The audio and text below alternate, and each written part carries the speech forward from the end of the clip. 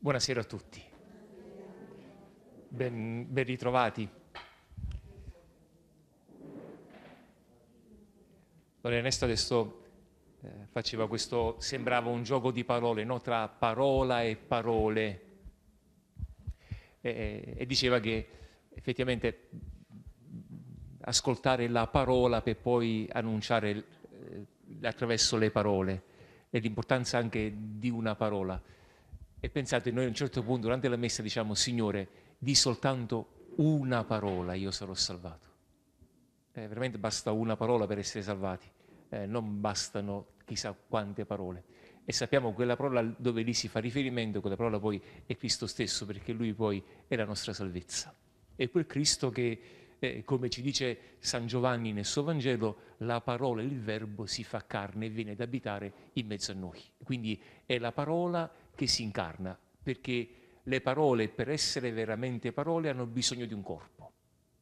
Eh, noi potremmo dire tutte le parole di questo mondo, anche le più belle, quelle che poi diventano anche le canzoni, no? quelle canzoni come ci piacciono poi cantarle, come sono belle, pensate soprattutto agli adolescenti, ai giovani, agli innamorati, si dedicano le canzoni. Però resta una canzone, fin quando quello che lì è espresso in quel testo, poi la persona non cerca poi di farla diventare carne e, e come eh, stiamo vedendo, abbiamo visto il mese scorso e come vedremo anche questa sera, eh, se il contatto con il Vangelo, come anche pensate il Vangelo domenica scorsa, che è lo stesso un poco anche quello che abbiamo ascoltato questa mattina e che è partecipato a messa oggi, è come una parola che è pesante. Vedete, il guaio nostro, sapete qual è? Che noi purtroppo alle parole non diamo più senso. Noi le parole, usiamo le parole come se niente fossero. Le parole sono delle pietre, eh, le parole, sono, noi dovremmo fare attenzione a quando usiamo delle parole. Anzi, vi ricordate che una volta, quando si faceva un contratto, lo si faceva sulla parola. Eh, ti ho dato la mia, la parola d'onore, si diceva una volta. Oggi dove sta più la parola d'onore? Eh, oggi eh, ci prendiamo in giro attraverso delle bugie, attraverso delle menzogne, eh, che usiamo delle belle parole e ci nascondiamo di quelle belle parole pensando ad esempio, ad esempio eh, quanto possa essere facile fare quello che sto facendo in questo momento, perché in questo momento vi dico delle parole e, e voi potete dire, perché molte volte lo dite, no, che belle cose che ha detto, e però capite che ai vostri orecchi certamente giungeranno forse come belle, eh, ma saranno vuote in me se a queste parole poi non darò seguito, eh, se avrò fatto una lezione e finisce lì, eh, quello che vedremo adesso in questo passaggio del brano di questa sera, eh, non si tratta tanto di sapere una lezione o sapere qualcosa in più su Gesù Cristo. Noi non stiamo qui per sapere qualcosa in più su Gesù. Eh, non stiamo qui per aumentare la nostra conoscenza intellettuale, ma stiamo qui per capire come in questa nostra vita noi possiamo essere discepoli ancora oggi di Gesù. Essere discepoli significa seguirlo. E non si seguono le idee, si segue una persona. Io non posso innamorarmi di un'idea, ci si innamora di una persona. E questa persona diventa così in realtà concreta e con le persone ci si scontra anche, non è che ci si incontra solo.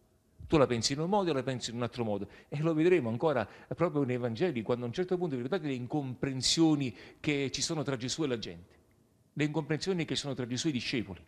Abbiamo dato pure qui se tra noi e Gesù va tutto bene, non ci sono incomprensioni, così come in un rapporto familiare tra marito e moglie, tra fidanzati, come va, va tutto bene, non va niente bene allora, è tutto falso. Così con Gesù non ci illudiamo, se diciamo va tutto bene, non è vero, non, stiamo incontrando noi stessi. Eh, dice un salmo, l'empio si illude con se stesso nel ricercare la colpa e detestarla, ma si illude con se stesso nel fare così. E con Gesù noi a un certo punto dobbiamo dire, come ripeto domenica scorsa, dovuto dire, Signore, ma che stai dicendo? Perché vi ricordate proprio come finì il Vangelo domenica scorsa? È servo inutile, gettatelo fuori dove sarà pianto e stridore di denti. Io non so se a voi ha dato fastidio quella frase. Eh, come il Vangelo di oggi diceva, ripeto, oggi parlava delle mine, dei denari, eh, dice la stessa cosa, no? Luca parla così, invece Matteo parla dei talenti. Alla fine riceve così, e quelli che non volevano che regnassi, portateli qui e uccideteli davanti a me. Eh, ma Gesù, eh, tu prima parli di pace, ma adesso parli tu di un uccidere davanti a te. E questa cosa non la condivido. Eh, noi dovremmo avere il coraggio di dirlo e non lo condivido questa cosa, perché quel terzo fannullone della parabola di domenica e il terzo servo di oggi è proprio questo il rischio, che non hanno contrattato con il Signore, cioè non hanno osato. Noi con Dio, vedete, noi non osiamo. Eh, noi con Dio eh, non portiamo avanti le nostre pretese, anche se sbagliate, ma noi non le portiamo avanti. Eh, noi abbiamo insegnato, ci hanno insegnato anche che tu se in questa cosa credi, tu la devi portare avanti. Poi casomai ti faranno capire che non è così, allora lo capirai, va bene. Però fin quando tu credi in quella tesi, tu li porti avanti.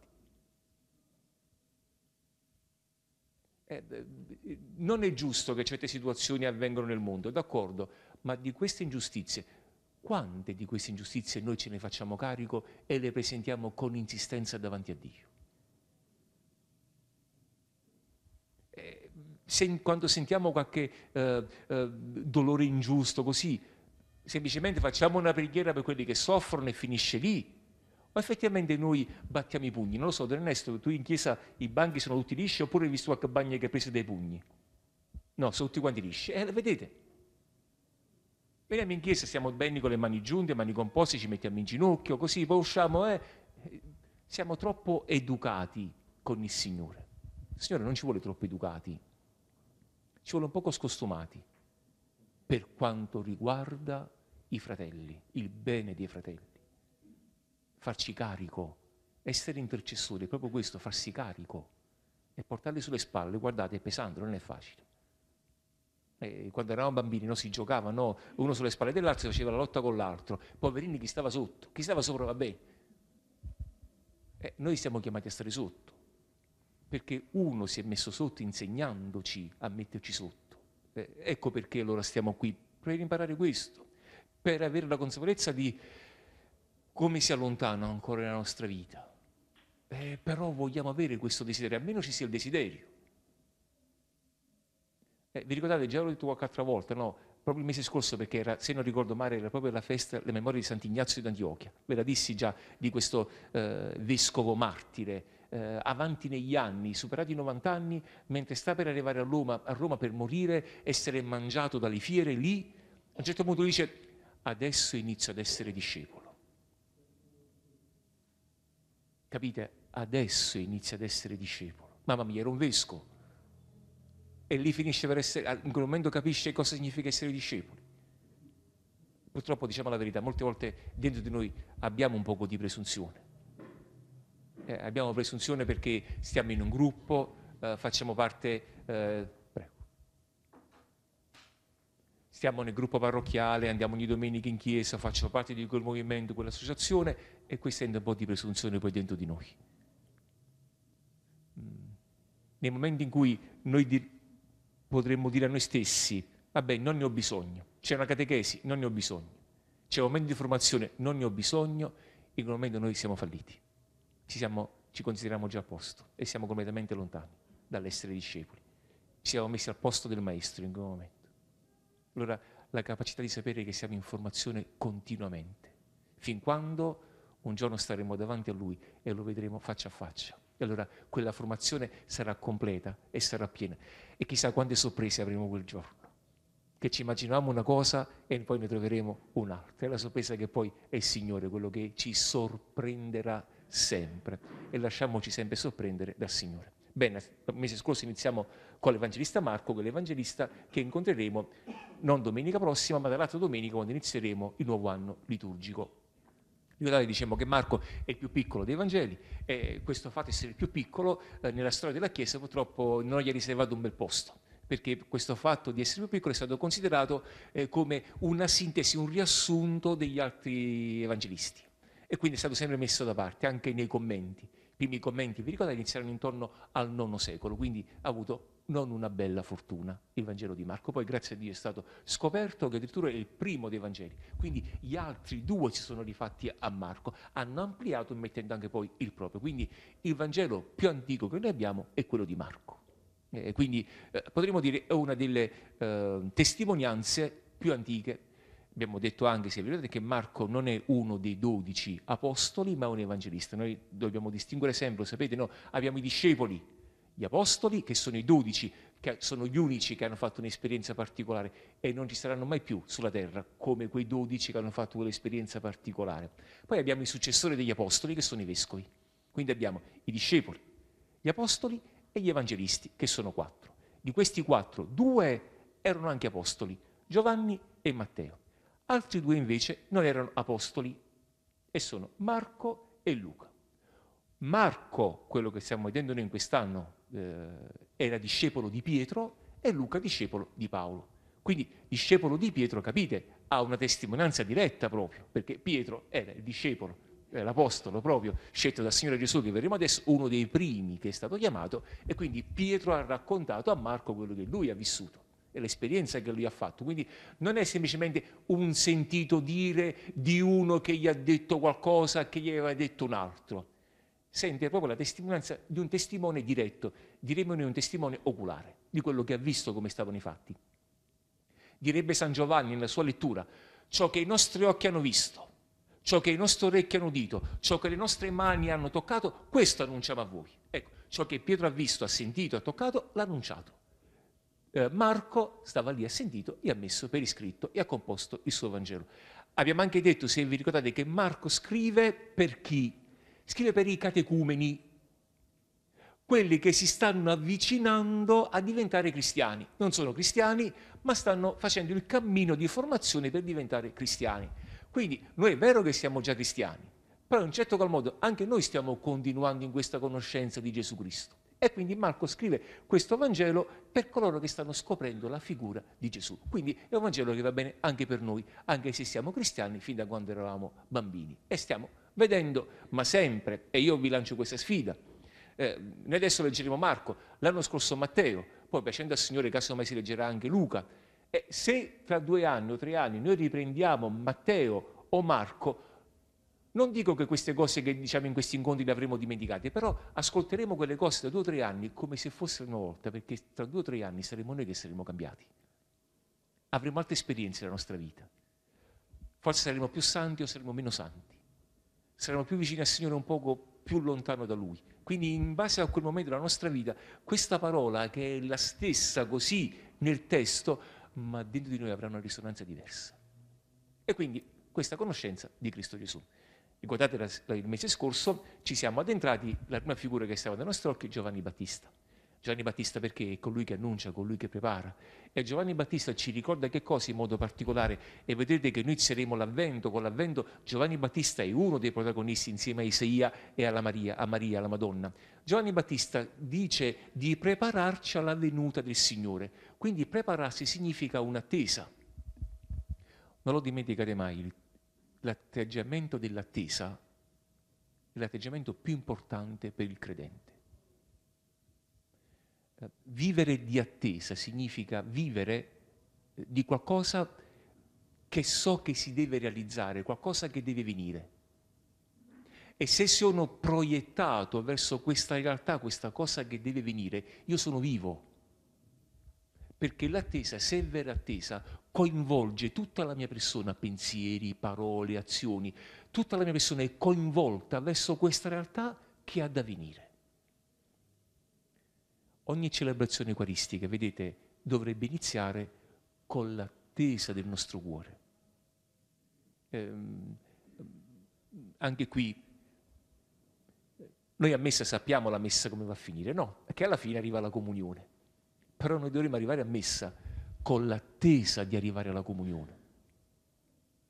Eh, pensate se a un certo punto non dicessero, ok, alle 20 c'è la cena, eh, quindi alle 19.30 eh, iniziamo ad avere un poco fame, boh, un'altra mezz'ora dobbiamo aspettare. Immaginatevi se facciamo l'incontro di catechesi e la catechesi si prolunga un pochino in più, si fanno le 8 e un quarto e noi iniziamo a dire, mamma mia, questo quando finisce? Qua dobbiamo mangiare. è ancora un poco più lunga, alle otto e mezza. Eh, il desiderio di mangiare, la voglia di mangiare, il bisogno di mangiare accresce sul fatto che possa finire questa catechesi, ma non tanto perché è di perché è di finire, di perché dobbiamo mangiare. Immaginate se fosse così anche durante la messa. Il desiderio. Perché se non c'è il desiderio di mangiare durante la messa, noi potremo fare tutte le comunioni di questo mondo, ma se non c'è il desiderio di mangiare, quella comunione non serve a niente se non c'è il desiderio di mangiarlo. Io sono il pane della vita, chi mangia di questo pane vivrà in eterno, capite? Se non c'è il desiderio di mangiarlo, allora l'attesa, il desiderare. Mamma mia, oggi è stata più lunga, ma non perché critico che è stata più lunga, perché si è allungato di più il tempo per fare la comunione. Allora poi capisco che quell'omelia è per farmi capire ancora di più, il desiderio, di accendere ancora di più il desiderio poi di fare la comunione. Allora capite, non è più il discorso devo assolvere il precetto, perché se è così mi a cercare la messa che dura più breve tempo possibile. È insieme alla comunità come vivere il sedersi alla stessa mensa.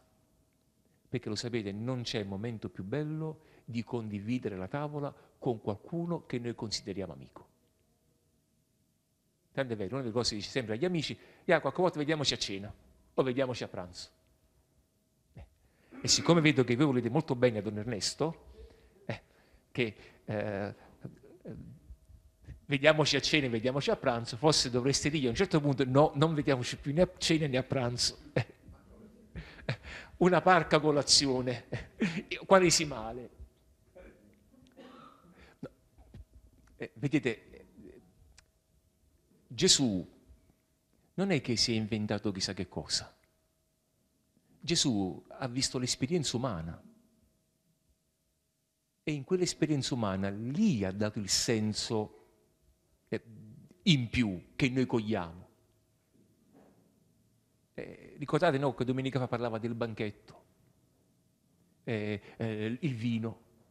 Eh, quindi è quello che effettivamente sta lì, eh, che loro già vivevano ordinariamente e so Gesù lì a un certo punto dice quella cosa in più particolare, per leggere quel segno diversamente, per darci quel di più che poi deve contraddistinguere, per trovare appunto quel senso.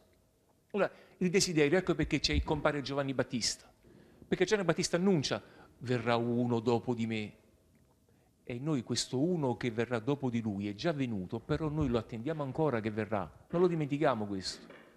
E Gesù è venuto e Gesù verrà noi lo diciamo durante la messa, no, nell'attesa che si compia la beata speranza e venga il Salvatore nostro Gesù Cristo. Cioè noi viviamo del fatto che Lui deve venire un'altra volta, ma lo stiamo aspettando veramente o no? Eh, noi dobbiamo aspettarlo veramente. Eh, molti usano, quando fanno la preghiera personale, che c'è chi fa le lodi e chi fa i vespri, no? Quando fanno questo momento di preghiera, eh, a casa in modo particolare, lo fanno, accendono una candela e quell'accensione di quella candela indica proprio questo, no? questo desiderio di attesa. Allora, la, la, candela che arde e si consuma però man mano, no? Ecco, Signore, la, è il mio cuore, la mia vita che si consuma attendendoti. E mentre prego, illuminato poi da questa candela. Eh, venga il tuo regno, diciamo nel Padre nostro. E quindi eh, Marco mette all'inizio Giovanni Battista, proprio ricordarci questo, che Giovanni prepara questa venuta è già venuto, ripeto. Quindi non è, non è, che adesso noi facciamo finta, non è che Gesù adesso il 25 dicembre verrà di nuovo, facciamo finta che Gesù viene, nasce un'altra volta, no, non nasce un'altra volta, è nato una sola volta. Ma io rivivo, rivivo io di quella sensazione, quel bisogno per dire che forse è dentro di me che deve nascere. Sono io che devo nascere come cristiano, sono io che devo nascere come figlio di Dio, perché è venuto sulla terra il figlio di Dio dicendomi che io sono stato fatto figlio anch'io, quindi chi è che deve nascere? Io come figlio di Dio. Guardando lui imparo come essere figlio di Dio. E attenzione perché non è che divento figlio di Dio perché inizio a fare i miracoli. Allora fin quando farò i miracoli sarò figlio di Dio. Allora, ho capito, non è quello il banco di prova. Sapete qual è il banco di prova che sono stato figlio di Dio? Se vivo la mia umanità. Perché Gesù Cristo qui ci rivela la sua umanità. Tanto è vero, vi ricordate la prima scena che abbiamo visto la volta scorsa? Il battesimo. Dio ha atteso duemila anni per mostrarsi come? Come uno che si mette in fila per i peccatori. Certo, ci ha voluto dominare per pensare questo. Capite? La terra che l'aspettava, il popolo che l'aspettava, questo Messia che deve venire, allora immaginate no, l'attesa, oh, immaginate no, dice, deve venire un grande personaggio. Noi già dicendo così ci mettiamo una persona alta. Poi che una persona così dimessa, umile, così piano piano, così come si rende. Capite? Il nostro occhio resta un poco male, perché noi siamo abituati anche a vedere con l'occhio, non la grandezza. Eh, noi abbiamo fatto le processioni equaristiche, noi abbiamo fatto gli ostensori, quelli anche più grandi, perché l'ostia piccolo non ci basta neanche più. Noi facciamo i presepi che sono belli, eh, ma voi capite qual era una grotta che c'era nella paglia? Andavano a mangiare il bue e l'asinello, gli animali mangiavano là dentro. Eh, perché siamo malati di grandezza perché abbiamo bisogno noi di, di dire questo per, forse per giustificare, per giustificarci.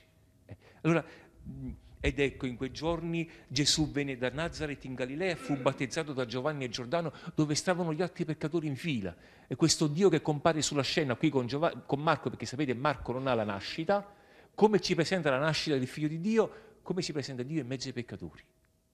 E vi ricordate come morirà alla fine questo Gesù, figlio di Dio, in mezzo a due peccatori, ai due ladroni lì sulla croce. E vedete, tutto sta qui. E allora capite la mia conversione quale deve essere?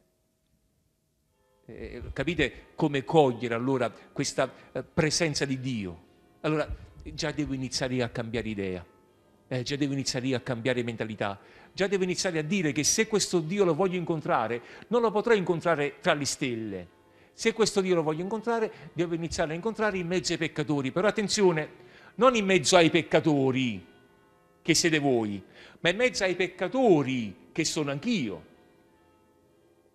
Perché noi abbiamo sempre pure questa tentazione, gli altri, gli altri, io con gli altri. Perché Gesù quello che ci fa capire che Dio si fa solidale con l'uomo.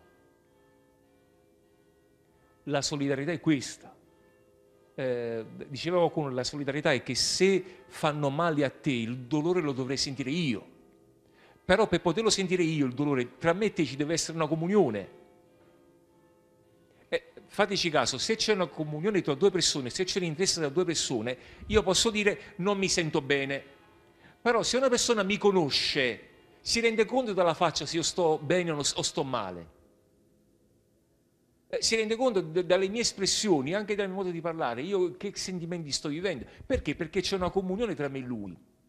Il Signore è così solidale con gli uomini che si mette in fila in mezzo agli uomini, non si mette al di fuori o al di sopra degli uomini.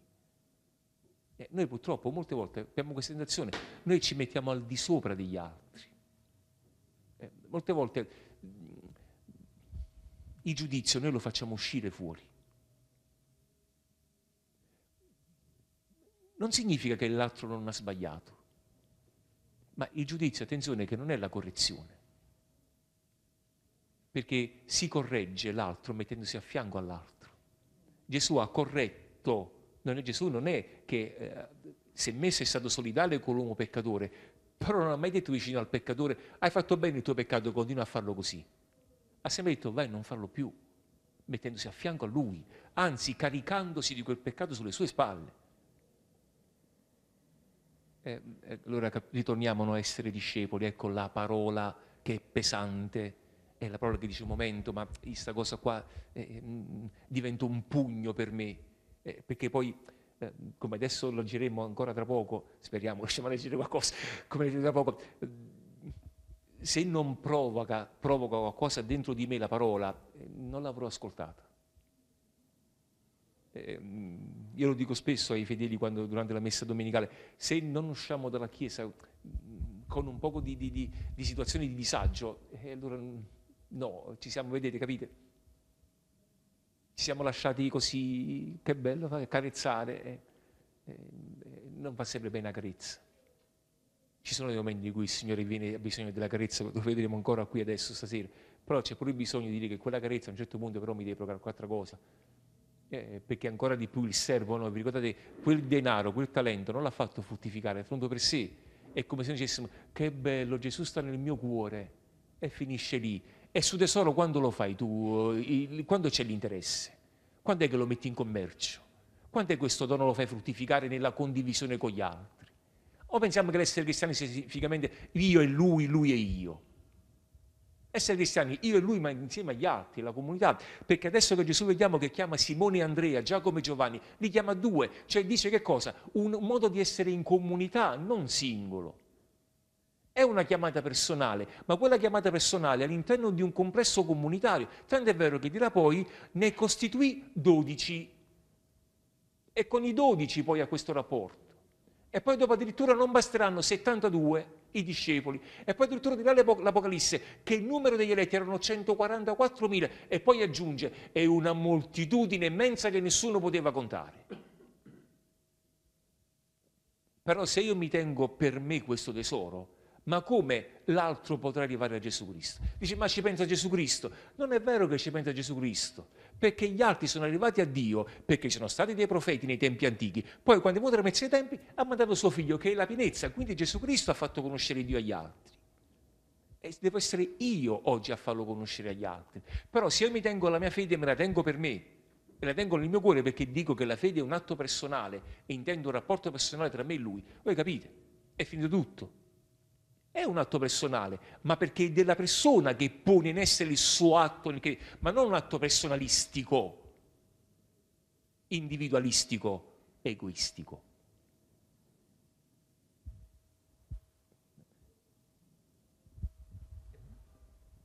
Lasciamoci provocare da questo. Eh, chiediamocelo questo. Io ho questo dono che ho ricevuto dal Signore penso che ve l'hanno spiegato loro durante l'omilia, no? I doni non sono come da bambini ci insegnavano, che sono i talenti, io so cantare e io so parlare questo, io so fare questo, so suonare, queste sono disposizioni personali. I doni, se vi ricordate, è la vita stessa di Dio, perché dice il testo, se vi ricordate, il Signore, il, il padrone, fece ai servi i suoi doni, sono i suoi, non i nostri. Quindi quei suoi che poi attraverso le nostre corrispondenze personali ma sono i suoi doni. E i suoi doni sono la sua vita, eh, l'essere credente, per noi l'essere presbiteri, sono i suoi doni, mica sono meriti nostri. E io questo devo far fruttificare, ma li ho fatti fruttificare. Allora io dicevo, quante messe fino ad oggi abbiamo partecipato noi? E di quelle messe che ne abbiamo fatto?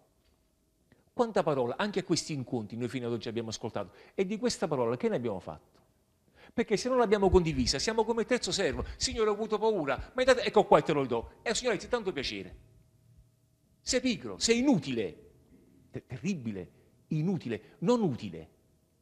E noi le cose inutili che facciamo a casa le gettiamo. E noi ci a chiedere se come cristiani fino ad oggi siamo stati inutili.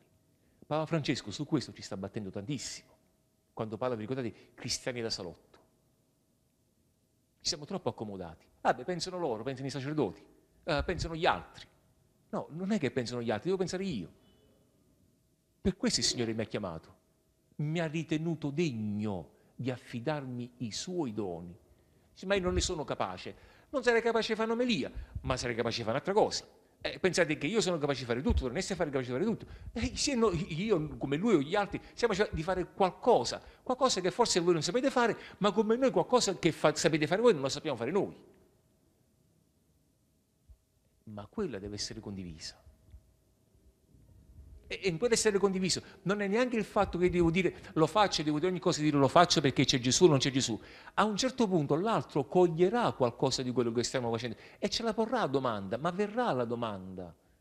E se non dovesse venire non fa niente, perché se erano fatto del bene, ma in cui si fa del bene, inevitabilmente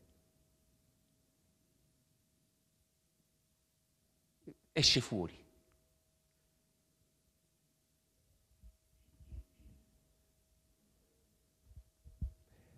Quindi Gesù, eh, questo è, Dio, meglio ancora, questo è.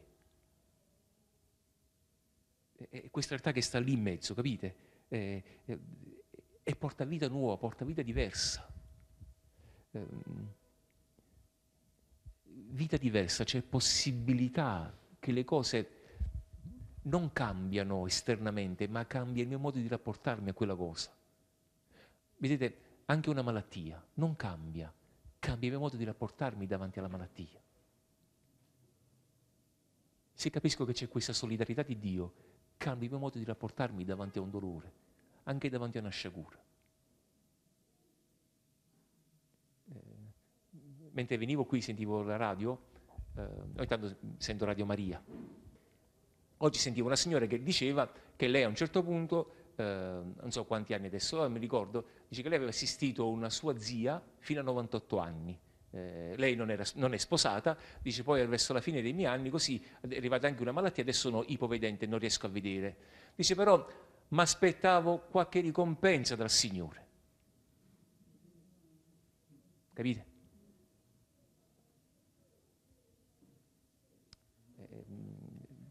Questo vado al supermercato, vado al mercato, faccio un contratto per, per avere, cioè io ti do eh, mi sacrifico verso questa persona, faccio, faccio, la beneficenza, faccio le preghiere, vado in chiesa e quindi, quindi, quindi di là automaticamente il Signore poi mi deve un po' di ricompensa, un po' non dica sempre, un po' di ricompensa me la deve dare. È, è, è, un, è un, interesse questo, capite, no? Eh, eh dice il Salmo 62, la tua grazia, Signore, vale più della vita e quando San Paolo parlerà con il Signore di essere liberato da questo pungolo che è nella carne, il Signore gli dice ti basta la mia grazia. Lui vuole essere liberato. San Paolo parliamo, eh? parliamo sembra non sto parlando di me, San Paolo. E chiede di essere liberato no, da questo pungolo. E il Signore ti basta la mia grazia. Ci basta la grazia di Dio, chiediamocelo. Con, con molta umiltà ce lo chiediamo, ma mi basta la grazia di Dio o vorrei un poco di soldini, un poco di salute, un poco di tranquillità, un poco di pace. Quello e quello non guasterebbe.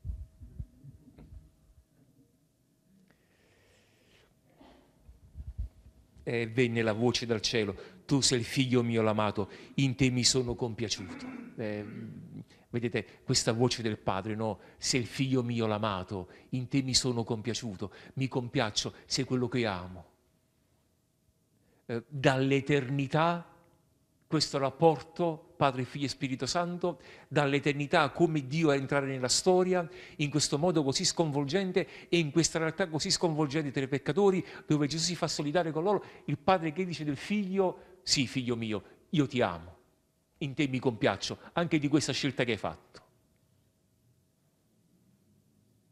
E qui è la scena del battesimo, e nel battesimo questa parola risuona anche per noi. Chi siamo noi? Il figlio amato. Ma non è Gesù. Sì, quindi noi chi siamo? Siamo come lui. Il figlio amato.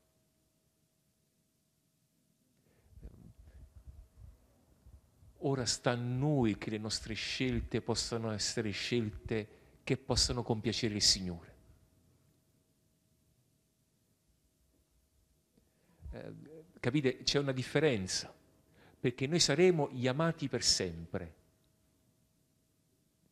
La compiacenza adesso sta a me dargli questa realtà di compiacenza.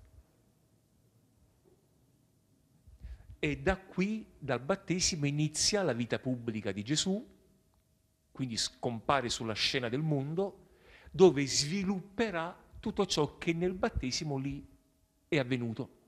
Quindi il suo essere figlio amato e manifesterà il suo essere figlio amato da Dio, quindi come essere figlio di Dio, lì come manifesto in mezzo e solidale con gli uomini. È quello che svilupperà in tutto il Vangelo Marco. Dopo questo fatto del battesimo, dove diremmo, ah, che bello, finalmente, dopo il battesimo adesso andiamo al ristorante e festeggiamo.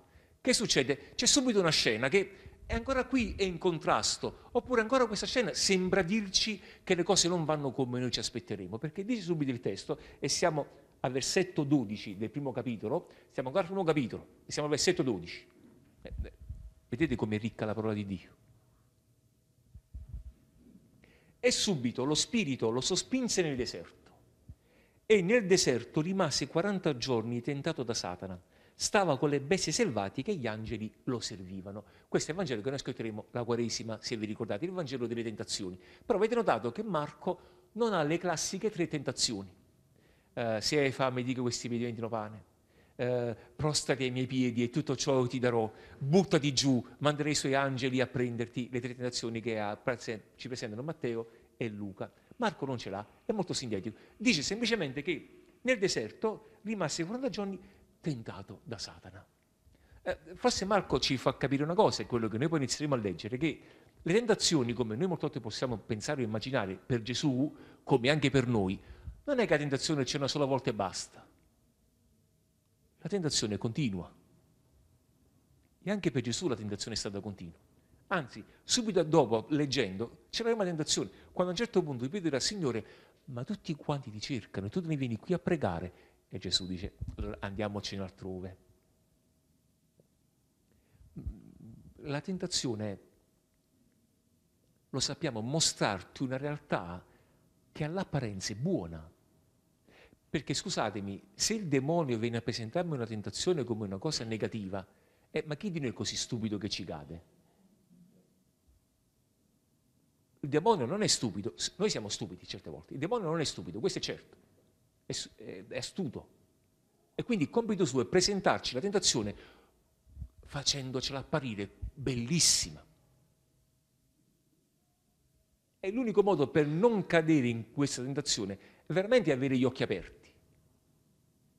E questi occhi aperti si hanno proprio come dice Gesù, perché siccome si è figli, si è sotto lo spirito, in questo rapporto con il Padre continuo è solo in questa unione di rapporto e di preghiera con il Padre che la tentazione può essere smascherata. Vattene Satana. E quindi lo Spirito lo spinse nel deserto. Eh, tenete presente il deserto, noi abbiamo fatto un po' l'esperienza del ritiro, no? Vi ricordate? È vero che insomma non è che abbiamo fatto un vero e proprio deserto, però ci siamo dati perlomeno anche 5-10 minuti un poco di silenzio Provate a pensare il deserto. Eh, vi accennai la volta scorsa che partivo per la Terra Santa, la settimana scorsa sono rientrato alla Terra Santa e abbiamo attraversato il Giordano, la Giordania, con zone desertiche. Guardate, è stancante perché non c'è niente. È stancante, pure agli occhi, perché vi sembra la stessa cosa. Eh, sì, la strada in mezzo ci sta. Eh, e adesso e immaginatevi a, quei tempi lì. E, e, e nel deserto tu sei da solo con te stesso. E, e, nel deserto provate a pensare anche Gesù, in questo rapporto con il Padre, anche nel chiedersi come io devo essere tuo figlio. Eh, dal deserto Gesù poi inizierà la missione, l'attività, infatti inizierà a chiamare i discepoli. Come dovrò io svolgere questa missione? perché non è automatica la cosa. Eh, credo di non dire nessuna eresia. Gesù ha imparato a fare l'uomo, perché lui sapeva fare Dio, in quanto verbo incarnato, ma incarnandosi ha imparato a fare l'uomo.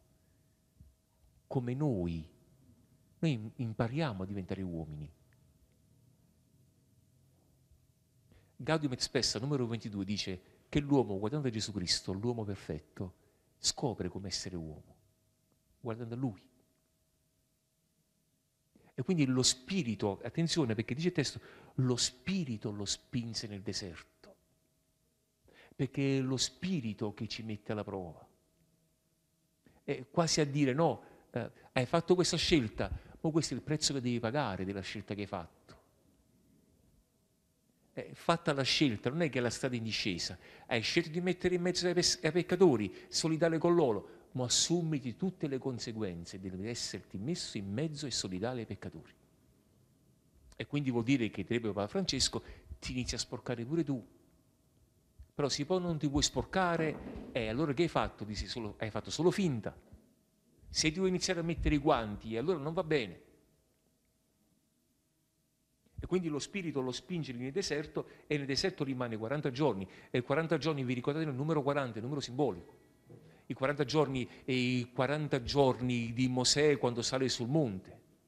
I 40 giorni sono i 40 giorni di Elia. Sono i 40 anni del popolo che cammina nel deserto per entrare nella terra promessa. Sono i 400 anni di schiavitù. Il numero 40 in genere indica una generazione, quindi è una vita che passa. E, e quindi capite in questi 40, che cosa dice in questi 40 giorni dove Gesù si trova lì nel deserto? E questo deserto tentato da Satana. Stava con le bestie selvatiche e gli angeli lo servivano. E qui dovremmo leggere un po' Isaia, eh, perché Isaia a un certo punto dice così, lo ascolteremo a Natale. Um, il lupo dimorerà insieme all'agnello, l'orsa pascolerà con il bue, il bambino metterà la mano nella buca dei serpenti. Eh, sapete, eh, capite, è una scena bellissima. Eh, il leone e l'agnellino, eh, il leone se lo mangia l'agnellino, eppure dice che in quella realtà di paradiso eh, il leone starà insieme con il lupo. Eh, capite, stava con le bestie selvatiche e gli angeli lo seguivano, il paradiso. Adamo che esce dal paradiso perché vuole usurpare, essere come Dio, Gesù invece che si trova in questa di paradiso non perché lo usurpa, perché mettendosi in questa realtà di essere uomo nuovo, tu sei il figlio mio, l'amato, il prediletto, in te mi compiaccio, capite? Allora, come ancora una volta, la logica è completamente diversa. Non l'usurpare, ma il dono non il pretendere, ma l'accogliere. Cambia tutto. Eh, non la mano che rapisce, la mano che si stende. E la mano che stende così è la mano del povero.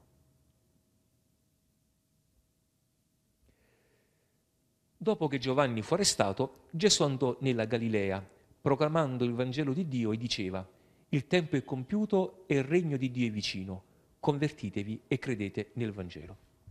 Qui abbiamo uno spostamento. Qui all'improvviso, dopo che Giovanni fu arrestato, certo il testo non ci dice perché Giovanni è stato, eh, è stato arrestato. Noi sappiamo che cosa succede, no? Ricordate no, che c'è la, la, la figlia eh, della moglie del fratello che lui teneva con sé e, e Giovanni gli diceva non è, non è, lecito, tu non la puoi tenere, eh, perché è la moglie di tuo fratello, non è tua moglie. E, quindi dava fastidio Erodiade, la compagna diremmo noi di Erode, gli dava sì di sta cosa. Erode temeva Giovanni, invece Erodiade no. Poi quando ci fu il compleanno di Erode, vi ricordate, esce Salomè, la figlia di Erode, balla. Erode resta invaghito del ballo di Salomè e dice nella sua uh, pazzia, chiedimi quello che vuoi, anche metà del mio regno. Ma io ho occasione propizia, quello va dalla mamma, che cosa devo chiedere? L'occasione, dammi la testa di Giovanni Battista. Erode chiaramente ha fatto una promessa e gli porta questa testa di Giovanni Battista. Quindi per questo fatto che Giovanni diceva le cose come stavano, diceva in faccia le cose, Erode lo mette in prigione. Perché quando tu dici le cose ti devi assumere la responsabilità di quello che dici. La verità ha un prezzo. Non esiste una verità a basso prezzo. La verità fino in fondo ha un prezzo. Gesù per la verità sta sulla croce. Giovanni Battista in carcere e sarà poi decapitato. Quindi forestato, Gesù andò nella Galilea. Ora, eh, il Giordano dove Gesù è stato battezzato, in Giordania, eh, dove si trova lì giù, quindi da giù Gesù sale e va in Galilea. La Galilea è al nord, eh, Gerusalemme, Betlemme è al sud. Tenete presente che inversamente a come noi pensiamo, no? noi generalmente pensiamo che al nord eh, c'è il benessere, pensate Milano, pensate Parigi che sta a nord, eh, eh, ehm, la capitale della Germania qual è? Berlino che sta al nord. Eh, invece qui è l'inverso, la capitale sta al sud, Gerusalemme, a nord della Galilea non era una bella zona, perché era la zona confinante con i gentili, con i pagani, e quindi era una zona, diremmo noi, di periferia. Eh, c'era cattiva gente. In Galilea c'è Nazareth. Dov'è Nazareth? La Madonna riceve l'annuncio dell'angelo. E voi ricordate che Luca descrive questa scena, Nazareth nella Bibbia non viene mai citata. Nazareth come villaggio non esiste proprio. È, è lì in Luca dove inizia Gesù la storia, a Nazareth, con l'incarnazione del Verbo. Gesù qui dove inizia il suo ministero? In Galilea, al nord, nelle periferie, da dove noi non saremo partiti. Allora, in tre versetti abbiamo visto tre modi complessi, diversi dalla nostra logica. In tre versetti. tre logiche diverse rispetto alla nostra. Gesù inizia, andò in Galilea. Eh, vi ricordate quando Gesù eh, risorge e dirà alle donne di andare a dire ai discepoli che lo precedono in Galilea? Inizia in Galilea e dove verrà appuntamento ai discepoli? In Galilea. Galilea, come vedremo adesso, è dove Gesù ha, svilu- ha vissuto vivendo la sua vita quotidiana e ordinaria. È quasi a dire che dove c'è questo sviluppo di Gesù, il suo incontrarlo, il suo viverlo, il suo testimoniarlo, nella vita ordinaria e quotidiana. Perché in Galilea c'è Cafarnao, c'è il lago, della chiamata che adesso li vivrà. E, e quindi c'è la quotidianità Gerusalemme, quando si parla, si parla del Tempio, quindi potremmo dire la dimensione della sacralità. La Giudea è, è, è la quotidianità, la Galilea, scusatemi, è la quotidianità. E Gesù parte da lì e ritornerà lì, chiederà di partire poi da lì. Bisogna sempre ripartire dalla Galilea in pratica, cioè dobbiamo sempre ripartire dalla nostra quotidianità. Perché certe esperienze che noi vivremo, anche quella domenicale, in chiesa, è domenicale, poi da quell'esperienza dobbiamo tornare alla quotidianità. Il Tabor è un'esperienza che si trova anche questo in Galilea, è un'esperienza particolare, però anche da quella poi bisogna tornare alla quotidianità eh, guai a dire che bello come Pietro, no, restiamo qui, facciamo tre capanne. No, bisogna tornare sempre alla quotidianità. C'è bisogno del momento forte, dell'esperienza religiosa, del momento particolare, ma quel momento, esperienza particolare, serve per riportarci alla quotidianità e per vivere meglio la quotidianità, abitata da quello che abbiamo contemplato, da scendere giù nella quotidianità. Andò nella Galilea, ehm, eh, adesso mi è ancora più chiaro pure questo, no? dal, dal, Giordano alla Galilea non è che è vicino. Quindi quando noi leggiamo sembriamo che sia immediatamente, no andò puff, il piede già c'è entrato dentro, è camminato e, e nel camminare Gesù tante cose le vedeva, tante cose le sentiva, tante cose le faceva. Ecco perché molte volte quando arrivavo in un posto già lo sapevano, già lo conoscevano, perché tendenzialmente le cose si dicevano, un po' come le nostre zone, no, l'inciucio c'è sempre stato. Eh, quindi chi lette una cosa, subito arriva dall'altra parte e quindi anche qui c'è stato, certamente è stato così. Quindi mentre lui camminava dalla, Giordana, dalla Giordania per arrivare lì in, uh, in Galilea, proclamando il Vangelo di Dio e diceva, il tempo è compiuto e il regno di Dio è vicino, convertitevi e credete al Vangelo. Quattro frasette che dicono tutto il Vangelo, quello che sarà lo sviluppo del Vangelo. Sono quattro frasette, guardate, il tempo è compiuto, il regno di Dio è vicino, convertitevi e credete al Vangelo ci sono due constatazioni che abbiamo qui. Il tempo è compiuto e il regno di Dio è vicino. Sono due constatazioni. E poi ci sono questi due imperativi forti. Avete sentito? Convertitevi. Credete al Vangelo. Il tempo è compiuto.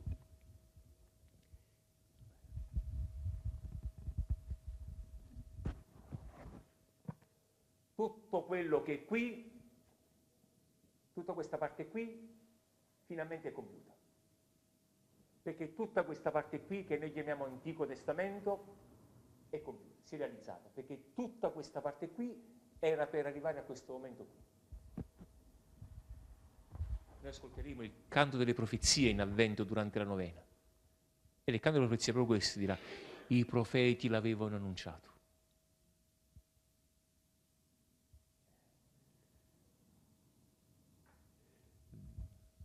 Dicevo, parlavamo dell'attesa prima, no, allora l'attesa si è realizzata. Il tempo è giunto al suo culmine, si è compiuto, il momento è arrivato, è il momento decisivo. Perché? Perché il regno di Dio è vicino, il regno di Dio è qui, perché in Gesù Cristo il regno di Dio si fa presente. Gesù Cristo è il regno di Dio. Ricordate come iniziato il Vangelo? Inizio del Vangelo di Gesù Cristo, figlio di Dio. Diciamo anche inizio del Vangelo che è Gesù Cristo, figlio di Dio. Il regno di Dio è che Dio regna, è la vita di Dio, la vita di Dio, questo è il regno di Dio. Eh, il regno non è il regno umano, il regno c'è dove Dio regna, Dio regna c'è dove c'è la vita di Dio, è dove Dio comunica la sua vita. ed è qui. Tutto ciò che si aspettava, adesso finalmente qui si sta realizzando, c'è la presenza del regno di Dio. Allora l'uomo adesso inizia a cambiare con lo sguardo, non più così, ma adesso è così.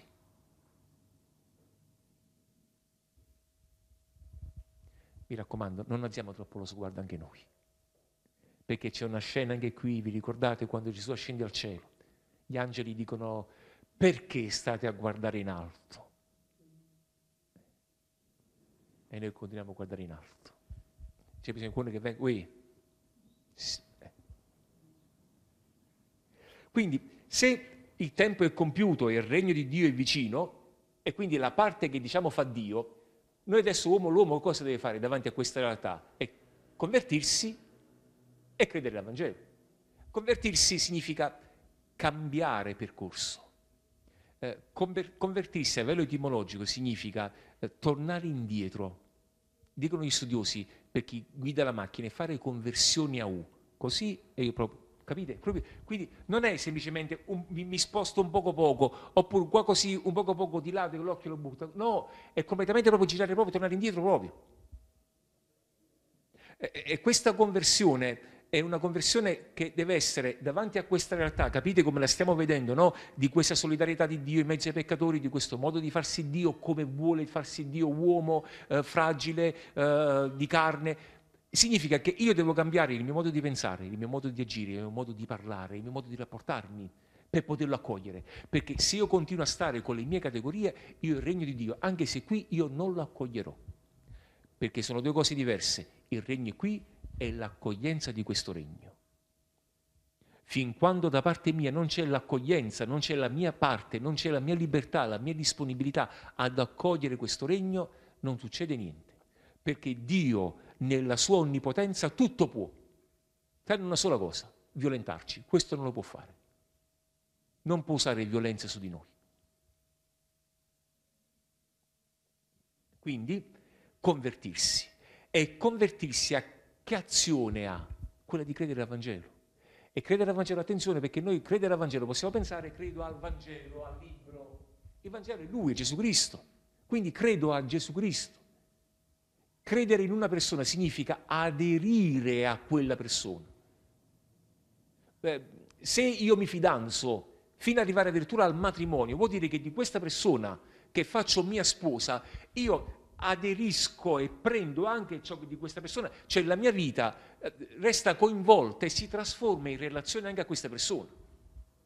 Se io mi sposo e poi dico tu mi fatti due per i fatti miei, capite? Non è un matrimonio sarà stato un matrimonio nella forma esterna, ma non è un matrimonio, non è quell'unione che il matrimonio vuole portare. Io non ho accolto quella persona. Il rito del matrimonio dice così, io accolgo te come mia sposa. E quindi quella persona, il suo modo di fare, il suo modo di agire, comunque coinvolge e stravolge il mio modo di fare il mio modo di agire.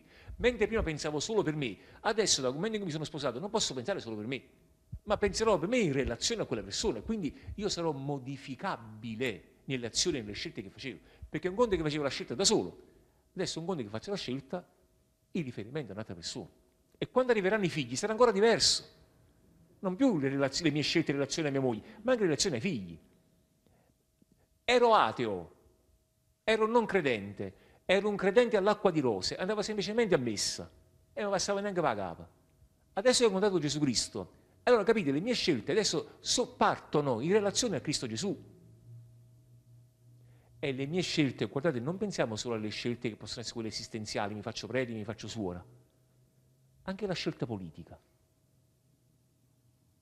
anche la scelta lavorativa, anche la scelta che faccio un doppio lavoro, anche la scelta che ne approfitto, anche la scelta che non metto il grattino nella macchina quando c'è il parcheggio e devo mettere il grattino, anche quando vado a fare la spesa e non faccio questa cosa qui, anche la scelta di quando vado a mangiare e spendo per una fetta di carne spendo 25, 30, 40 euro. Anche queste sono scelte che dicono che sto credendo al Vangelo. Perché altrimenti se io penso sempre a quelle scelte lì, ma quelle non verranno mai. O pensiamo alla scelta di Gesù Cristo, così faccio un po', beh, poverino, ci faccio le mostre, faccio le mostre. Non sono queste. È la quotidianità in Galilea, Perché adesso subito dice, passando lungo il mare di Galilea, vide Simone e Andrea, fratello Simone, mentre gettavano la rete in mare. Che stavano facendo? Stavano lavorando. Avete capito? Non è che stavano pregando, stavano vivendo, si stavano procurando da mangiare.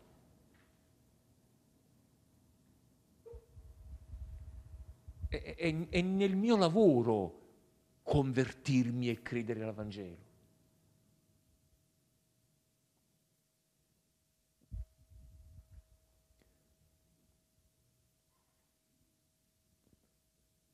quello che si fa, noi lo facciamo, lo dovremmo fare da cristiani, qualsiasi cosa che noi facciamo, qualsiasi, falla da cristiani.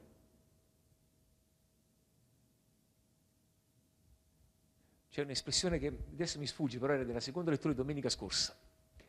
Mi pare che diceva così, San Paolo di Astronicesi, noi non dormiamo come gli altri. Eh, ma perché noi come dormiamo? Uh, gli altri come dormono rispetto a noi? Cioè un musulmano non dorme come dormiamo noi. San Paolo dice che noi non dormiamo come gli altri. Perché per noi la, la notte ci dovrebbe richiamarci che cosa? La morte nella, come attesa del Signore. Quindi noi ci andiamo a addormentare a tenere il Signore. Ecco perché noi non dormiamo come gli altri. Allora, noi non viviamo come gli altri, noi viviamo da cristiani.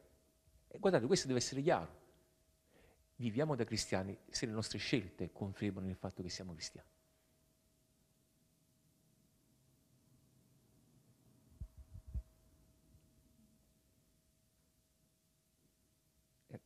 ed non è un consiglio, perché altrove dirà chi vuole essere mio discepolo, chi vuole. Qui dice convertitevi, credete al Vangelo. È categorico.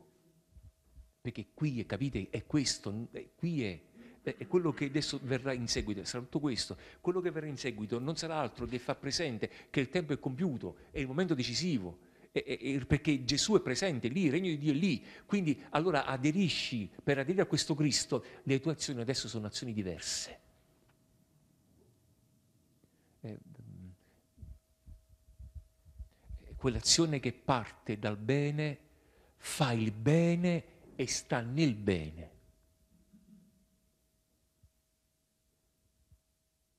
Allora capite che, come diceva Machiavelli, non è vero che il fine giustifica i mezzi. Non è vero.